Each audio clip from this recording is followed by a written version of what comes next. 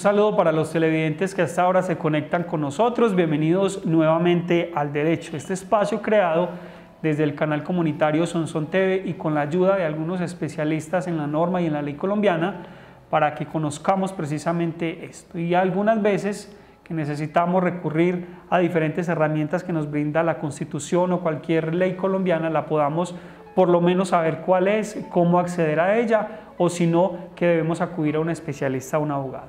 Daniel, bienvenido al Derecho nuevamente. Como lo dijimos en el programa anterior, estábamos ya citados previamente para hablar sobre la acción de tutela, una de las herramientas de la Constitución Política que creo que la mayoría de los colombianos conocemos, desafortunadamente, no por aspectos positivos, sino porque tenemos que recurrir mucho a ella, especialmente en temas de salud. Es el pan de cada día, pues que tuve que utilizar esta acción de tutela para que me autorizaran estos medicamentos, o, este, o esta operación, o este procedimiento médico. Daniel, bienvenido a este espacio, gracias por estar con nosotros y brindarnos sus conocimientos. No, para mí es un placer ayudarte con este tema, que es muy interesante porque nos va a ayudar un poquito a defender nuestros eh, derechos y sobre todo los derechos fundamentales como la, a la dignidad y el que tú dices que es tan importante, que es la salud, que como me comentabas detrás de cámaras, hiciste en el pasado una acción de tutela respecto a eso y, y bueno, eh, para eso estamos, para que la gente sepa un poquito sobre este mecanismo que fue creado a principios de 1991 por el tema de la constitución política y se dice, los expertos lo mencionan, que ha sido el instrumento más importante luego de esta constitución, porque a, pesar de que las entidades demoran en hacerlo, con una acción de tutela bien encaminada, tú puedes hacer una buena solicitud. Incluso pues, valga el ejemplo, eh, recuerdo que yo he elaborado, eh, o, me han ayudado más bien a elaborar dos acciones de tutela para temas médicos con familiares. Llevábamos esperando incluso meses a que autorizaran un procedimiento médico que era urgente, porque de eso dependía la salud y la vida de esa persona, y pues obviamente nada que lo autorizaban y nada que lo autorizaban. Y uno llamaba y no contestaban, o que no, que después, o que no depende de nosotros. Bueno, ¿qué tocó hacer? Recurrir a la acción de tutela me demoré yo más en hacerla, en serio, me demoré yo más en hacerla porque me demoré como, como ocho días que ellos en responderla positivamente, autorizando el procedimiento médico. Es decir, sí se podía. Pero bueno, para eso está este mecanismo que nos brinda la Constitución, Daniel, y por eso consideramos importante traerlo a este espacio, que los televidentes, ojalá todos ahí saquen la media horita y le pongan cuidado, porque, hombre, de eso depende muchas circunstancias, incluso la vida misma. Y a veces parece, es, es muy difícil, eso hay que estudiar en la universidad para elaborar un, un derecho de petición, una acción de, tutela. Hace, en el programa anterior vimos que no es tan complejo como nos lo han mostrado.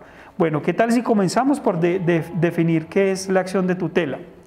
El artículo 86 de la Constitución Política establece que la acción de tutela es un mecanismo de protección inmediata de los derechos constitucionales fundamentales cuando estos resultan vulnerados por la acción u omisión de cualquier entidad pública o de particulares en casos específicos. Eso nos define la constitución política como acción de tutela. ¿Algo que agregar, Daniel, ahí? No, es importante saber también que esto es un mecanismo eh, expedito, ¿cierto? Es un mecanismo expedito, subsidiario, porque pueden existir otras alternativas pero la forma en que la, tú lo escribas y que hagas, digamos, esta acción de tutela, te la pueden conceder, ¿cierto?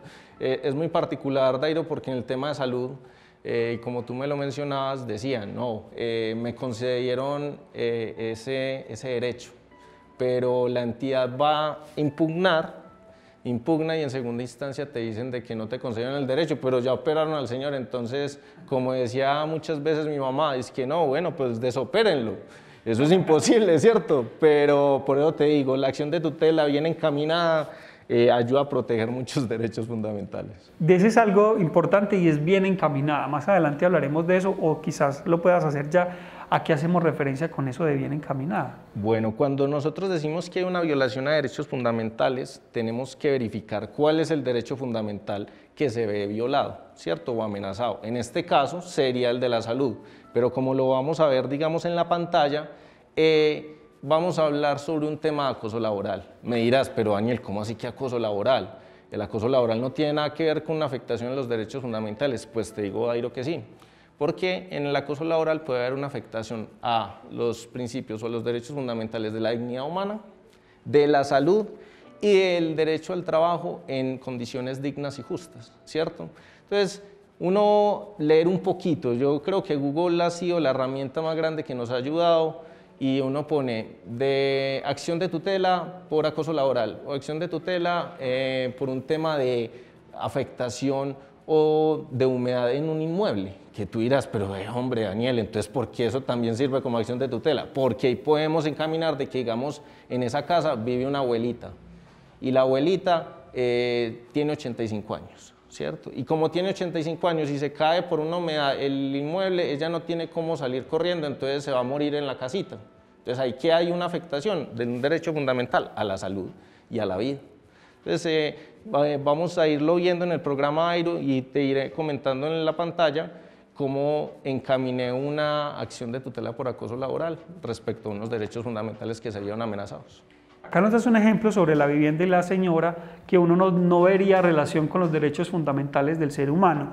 Pero hablemos entonces cuándo procede una acción de tutela, cuándo sí se debe elaborar, en qué circunstancias. Bueno, el, primero de los casos sería cuando hay una vulneración o se encuentra amenazado un derecho fundamental, ¿cierto? Tú como bien lo sabes y, también para que eh, nos cuentes porque tú también has tenido conocimiento al respecto, hay unos temas donde no procede la acción de tutela. Yo recuerdo uno y tú me ayudarás, el tema del habeas corpus, que ese es un tema, digamos, de, derecho penal que tiene que ver con...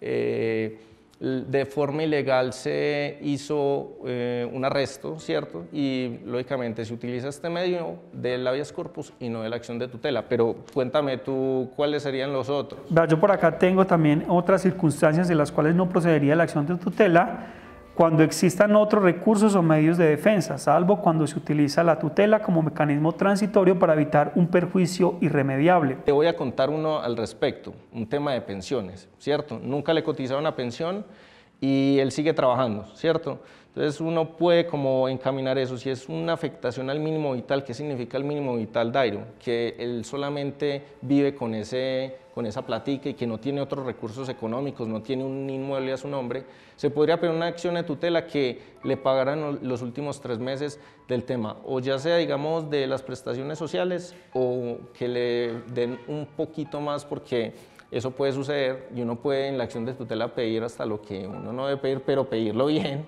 eh, hacerlo de esa manera. Entonces ese podría ser un, mecanismo y como le dices, una de las que no proceden es porque podrías ir frente a la justicia ordinaria, ¿cierto? Frente a la jurisdicción ordinaria. ¿Qué significa esto?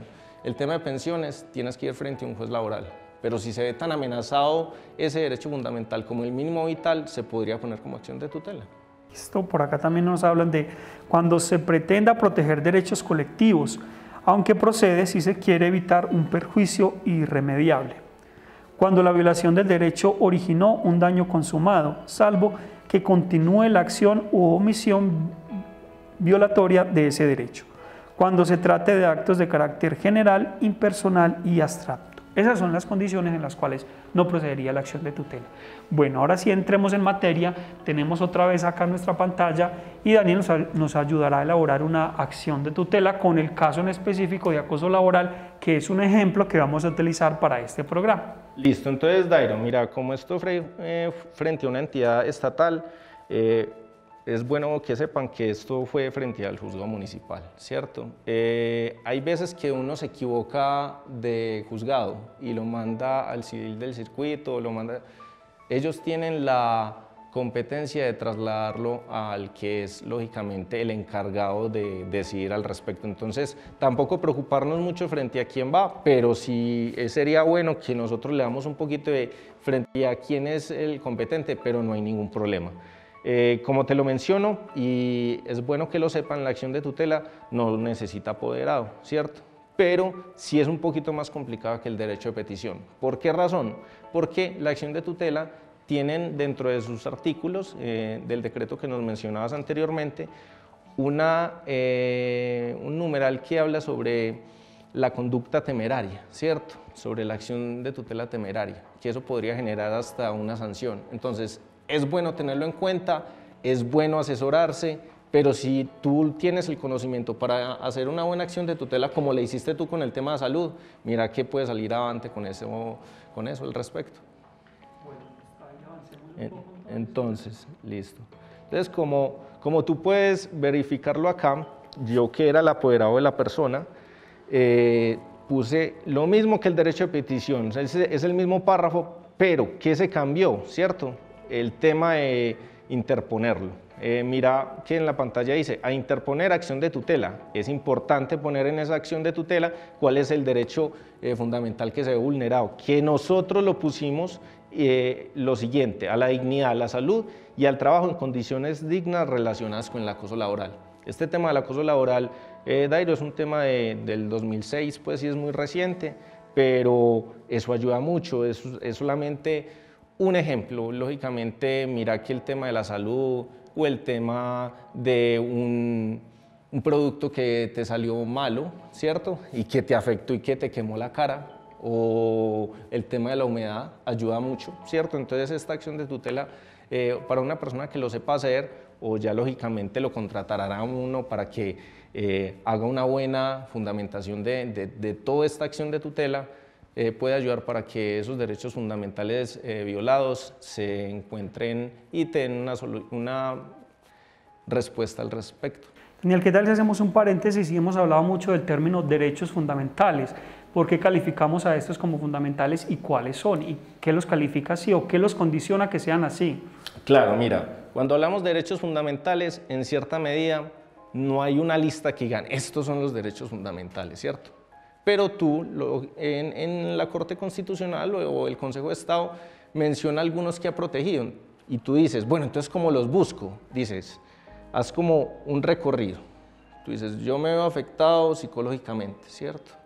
O me veo afectado eh, físicamente. Creo que el derecho que me veo afectado es el tema de la salud. Entonces tú dices, eh, afectaciones o derechos fundamentales a la salud. Y se pone en Google y ahí en Google te va a aparecer mucha cantidad de, información y te va a aparecer de pronto algo de la Corte Constitucional o una sentencia de tutela o una sentencia de unificación, muchas cosas. Pero que digamos que haya una lista expedita de toda la información o de todos los derechos fundamentales, no la hay, ¿cierto? Es solamente, por eso es bueno en ciertos momentos decir que necesito un abogado para que él te encamine bien en, en, ese, en esa acción de tutela, pero como te lo digo y te lo repito, eh, no es necesario un apoderado judicial para el tema de la acción de tutela. Tener un poquito de cuidado a comparación con el derecho de petición, pero eh, en cierta medida tú lo puedes presentar. Listo, por ahora vamos a una pequeña pausa en el derecho y ya regresamos ayudándoles a ustedes a que si en algún momento necesitan elaborar una acción de tutela, pues tengan por lo menos un conocimiento básico. Ya regresamos.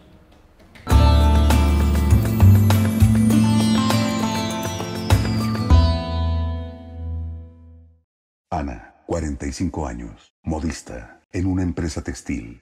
Positivo para COVID, pero aún no lo sabe. Usa tapabocas debajo de la nariz. Ana estornuda sobre la cafetera y contagia a su jefe y a Pablo, Marina, Rosa, Luis y a 300 empleados más. La empresa cierra y todos quedan sin trabajo. Ana, ¿por qué no te pones bien el tapabocas? Su excusa le aprieta las orejas. Tus excusas ponen en riesgo tu vida y la de muchas personas. Aprendamos a convivir para poder vivir. El futuro es de todos. Gobierno de Colombia. Que la vacuna viene con chip que modifica el ADN, que no funciona. Tres razones para no comer cuento. Primera, los mejores científicos del mundo se concentraron en encontrar el mapa genético del virus para poder atacarlo. Con nuestro ADN no se han metido y no va a ser modificado. La vacuna hace que nuestro cuerpo aprenda a defenderse. Segunda, no hay posibilidad física de insertar un chip dentro del líquido de la vacuna y mucho menos el virus. El contenido es de dominio público y lo puedes consultar. Tercera, debido al riesgo y la velocidad de contagio, fue posible acelerar los ensayos clínicos sin comprometer la seguridad de la vacuna. No te dejes engañar, las vacunas son seguras y efectivas. Detener el contagio es responsabilidad de todos. Gobierno de Colombia.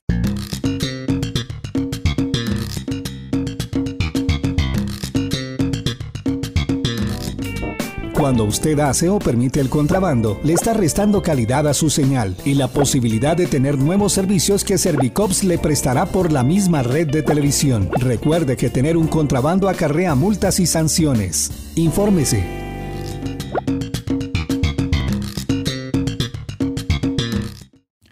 No usas bien el tapabocas. Tampoco aplicas los protocolos de bioseguridad en Sonsón llevamos un gran número de contagiados y uno considerable de muertes. Si no lo haces por ti, hazlo por tu familia. Cuídalos.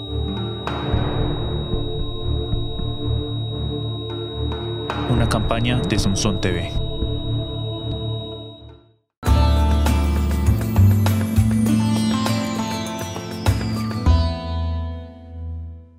Continuamos en el derecho, hoy ayudando a, elaborar una acción de tutela en cualquier momento de nuestras vidas. Hemos puesto ejemplos particulares sobre temas de la salud que son los más recurrentes en nuestro país por eh, las condiciones actuales que establece el sistema de salud en Colombia. Pero para el ejemplo que Daniel nos está ayudando a elaborar tenemos un acoso laboral. Hablemos también de esos, eh, digamos, puntos que tiene eh, la acción de tutela similar a lo que hicimos en el programa anterior con el derecho de petición y lo vamos a empezar a enumerar y Daniel pues nos los va a ir mostrando. Pero antes, eh, creo que es importante si de pronto en el derecho de petición no se me resuelve como yo considero eh, esa, esa situación o esa circunstancia o no se me resuelve o no me responden, de inmediato acudo a la acción de tutela o qué puedo hacer? Es decir, uno es el inicio del otro o no tiene nada que ver. se puede hacer, pero es bueno tener en cuenta que el derecho de petición, dependiendo a qué entidad vaya, tú puedes utilizar la acción de tutela, ¿cierto? Porque, digamos, si es un derecho de petición respecto a un tema de derechos del consumidor, recomendación, vayan frente a la Superintendencia de Industria y Comercio, aunque se demoren, y pidan indemnización de perjuicios morales, ¿cierto? Pero si es un tema de salud, ahí sí, haga el derecho de petición y se acabó el tiempo en responder de una promueva la acción de tutela, que la acción de tutela te la conceden o te la revocan, pero ya sabes la decisión al respecto, ¿cierto? Que es un tema de salud, un tema, digamos, ya de, el tema hasta de acoso laboral, pero había algo en específico de este tema de acoso laboral, Dairo, como es frente a una entidad estatal, las entidades estatales deben tener unos comités de convivencia, ¿cierto? Y entonces tú antes de ir frente a la acción de tutela te dicen, no, tienes que ir frente al comité de convivencia. No, eh, en este caso en específico, porque la Corte Constitucional mencionaba que el medio más expedito para esto era la acción de tutela, entonces nosotros nos ahorramos ese camino y nos terminamos yendo frente a la acción de tutela, que era mucho más expedito, ¿cierto? Entonces, dependiendo de los casos, tú puedes decir, el derecho de petición lo pongo y, lo pongo, y, luego pongo el, el de acción de tutela. Entonces, ¿qué información debe contener la acción de tutela? Dentro de los principios que rigen la tutela se encuentra el principio de formalidad, artículo 14, decreto 2591 de 1991, dado que este mecanismo está pensado para cualquier persona que pueda ejercerlo. Por esto, no hay un formato de solicitud ni es necesario un intermediario. De ahí que, en ciertos casos, la acción pueda ser ejercida verbalmente. La información indica que la solicitud debe incluir como mínimo la siguiente información. Primero, la acción o la omisión que motiva. Bueno, entonces fíjate en esto y está en negrita las letras. Acción de tutela por vulneración a la dignidad humana, salud y al trabajo en condiciones dignas relacionadas con el acoso laboral. Ya, ahí terminamos eh, finalizando ese punto, porque tú mismo lo dices, es un tema de informalidad que lo puede hacer cualquier persona, pero entre mejor esté elaborado, mucho más fácil el juez que le vaya a tocar por competencia lo va a resolver. Aquí dicen algo muy, muy importante, Daniel, y es que se puede elaborar de manera verbal, pero usted ahora nos, nos hizo referencia que lo que no está por escrito pues prácticamente no existe. Usted como abogado más que nadie nos debe dar eh, la vericidad de lo que estoy diciendo, pero entonces, ¿cómo es eso de que lo puedo elaborar de manera verbal? Sí, normalmente tú puedes ir al juzgado y el juzgado te va a dar, digamos, la atención al respecto para que lo pongas de, manera verbal, pero recomendación, eh, y eso lo hemos hecho en todos los programas, todo por escrito, y si no es por escrito, bueno, tengo ciertos testigos, hagan declaraciones extrajuicio frente a la notaría y esas declaraciones extrajuicio tú las pones en la acción de tutela O en la acción de tutela tú pones pruebas documentales y pruebas testimoniales. ¿Qué significa esto? Las pruebas documentales son las que están escritas. Puede ser un contrato de trabajo o que te digan, vos sos mala persona, vos, vos no servís para nada, te lo escribieron, pues puede suceder que te manden hasta noticas diciendo que, que no, que tú no eres la persona capacitada para esto. Esos son pruebas documentales. Las pruebas testimoniales, por otro lado, son la solicitud que se le hace al juez para que rinda testimonio una persona, por ejemplo, Dairo, ¿cierto? Y en esa eh, rendición tú tienes que poner, lógicamente, el número de la cédula, la dirección electrónica, si la tiene, la dirección eh, donde está domiciliado, ¿cierto? Y sobre qué hechos va a hablar al respecto. ¿Por qué es importante esto, Airo? Porque en muchas ocasiones, a pesar de que es informal eh, la acción de tutela, entre mejor esté, es mucho mejor que la concedan o más fácil la conceden. Por esa razón, recomendación, cuando pongan en las pruebas testimoniales, que te lo voy a mostrar en la pantalla, nosotros que pusimos, lo pondríamos así. Vamos a poner mi nombre, Daniel Marina Aristizábal. Discúlpenme las, las tildes, pero después lo arreglamos. Con cédula de ciudadanía, número tal, coma. Luego, dirección, dirección electrónica. Luego, ponemos eh, la dirección donde me encuentro y domiciliado en tal lugar. El cual, ¿cierto? El cual rendirá testimonio sobre los hechos de la demanda o, de la acción de tutela. Porque tú perfectamente puedes poner otra cosa, Airo. Rendirá testimonio sobre el numeral, numeral 1 de los hechos, ¿cierto? Pero como recomendación, mejor pongámosle sobre todos los hechos para que no solamente se restrinja a esos hechos. ¿Listo? Entonces yo creo que con ese punto es, importante que lo sepan.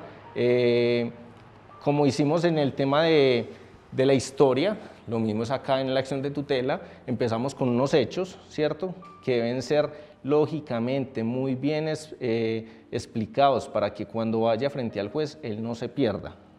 Nosotros somos seres humanos, Dairo, y me van a decir, es que el juez debe saber todo. No, el juez el juez no es un mago ni es vidente, tenemos que lógicamente poner buena argumentación y escribirlo bien, ¿cierto?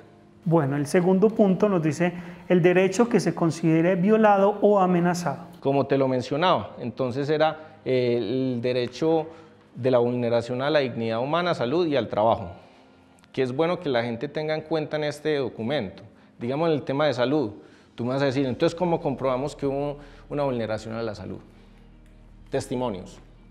O puede ser de que esa persona fue a una remisión médica y en la remisión médica eh, en estos días me sucedió algo muy curioso que era un síndrome. Yo siendo hijo de, de, un médico y no sabía que existía ese síndrome y se llamaba el síndrome de burnout, ¿cierto? Ese síndrome tiene que ver con el estrés laboral en que se encuentran ciertas personas de la salud.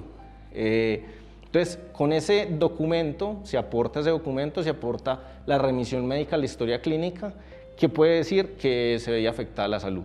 Y el tema del trabajo, condiciones dignas y relacionadas al acoso laboral, una de las pruebas fundamentales podría ser también que hubo un traslado del lugar de trabajo y se puso en un cuadrito para que trabajara en el cuadrito, o digamos necesitaba unas botas para trabajar y no se las dieron. Entonces es verificar también eso mediante testimonios de que esa vulneración se encuentra eh, súper pues afectada. Listo. Tres, el nombre de la autoridad pública o el órgano autor de la amenaza o agravio accionado. Listo, entonces mira, después de que ponemos relacionadas con el acoso laboral contra la entidad tal, ¿cierto? Se pone la entidad, el NIT si lo tienes, el representante legal de la entidad y domiciliado en tal lugar. Es muy importante también poner el tema del domicilio porque ahí es frente a uno, frente a cuál eh, juzgado vas a hacer la, la, acción de tutela, ¿cierto? Pero para que pongamos un poquito más interesante esto, Dairo, y que no se duerman los televidentes, dentro de los hechos vamos a poner esa historia muy bien narrada, pues tampoco nos vamos a poner a, a, copiar y ser utópicos, es que la constitución del 91 nos ayuda a esto, no. Poner los documentos y poner la información de tal medida que tú digas, eso me va a ayudar y que no se nos olvide, léanlo una vez, el buen lector y el buen escritor, ¿qué es lo que hace? Lee una, dos o tres veces, ¿cierto? Porque tú lo puedes hacer hoy y mañana se te llegó más información. Tómate tu tiempo en hacer la acción de tutela porque es un mecanismo tan bueno para el ciudadano que va a ayudar efectivamente, y tú lo sabes, a que esa vulneración se te, se te ayude y se te conceda, digamos, ese derecho. Entonces, eh, lo, iremos, lo iremos elaborando en este tiempo que nos resta del programa. Listo, el 4 dice el nombre y la dirección del solicitante accionante. Es lo mismo que yo te mencionaba. Luego que tú pones todos los hechos y dices de que hubo una vulneración, eh, es importante poner, digamos, este tema de la dirección.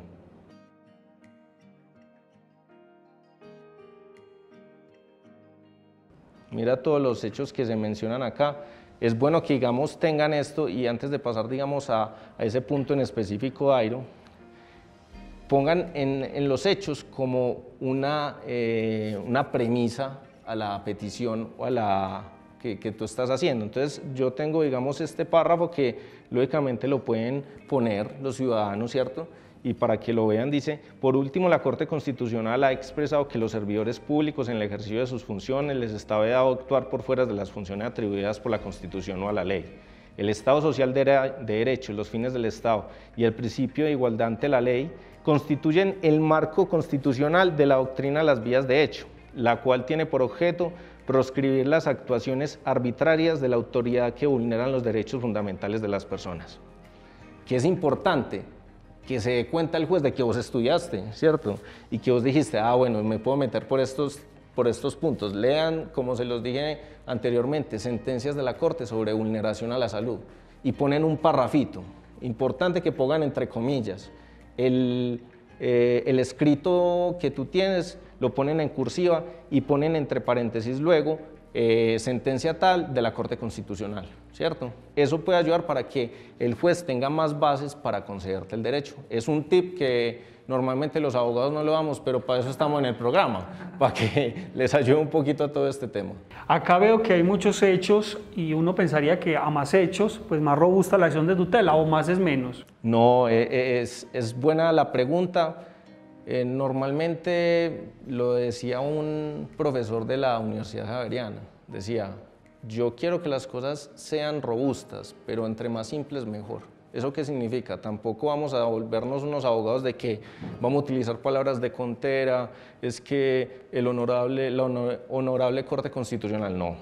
Hágalo a su manera, de una forma formal, de, de una manera sucinta, que si hay muchos hechos, póngalos, pero póngalos con pruebas, ¿cierto? Entonces tú pones dentro de esos hechos lo siguiente, y lo pondremos acá. Digamos que a mí me acusaron laboralmente, ¿cierto? Ponemos entre paréntesis lo siguiente. Esto se verá en pruebas documentales, documentales o en declaraciones de extrajuicio, ¿cierto? ¿Eso qué significa, Dairo?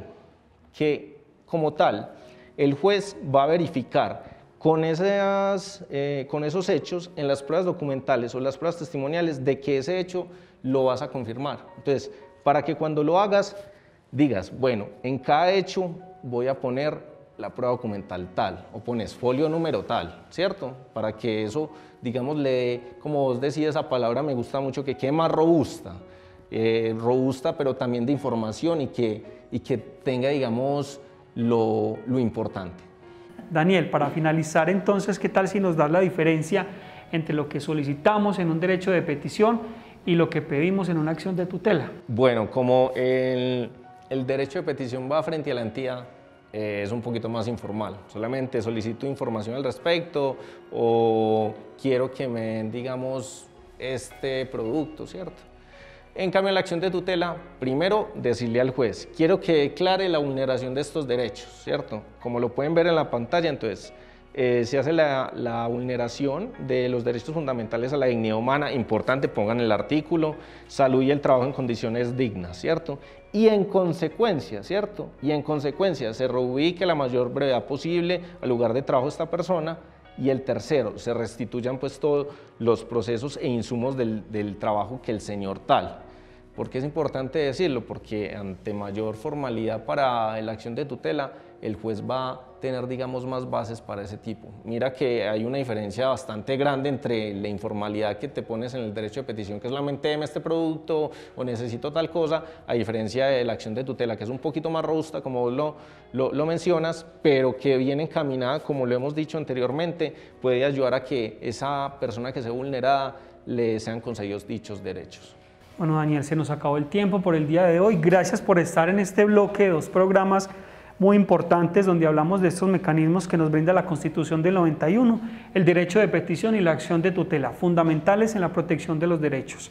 Gracias por estar con nosotros. Esperamos que los televidentes eh, hayan aprendido un poco a cómo elaborar estos dos mecanismos que nos brinda la Constitución. Tratamos de hacerlos un poco didácticos para más accesibilidad a las personas que nos están viendo. Daniel, muchas gracias. No, eh, a vos, Dairo, y usted sabe que Acá vendré todas las veces que me invites a hablar de temas tan importantes como son derecho de petición, la acción de tutela y los temas que hemos hablado anteriormente.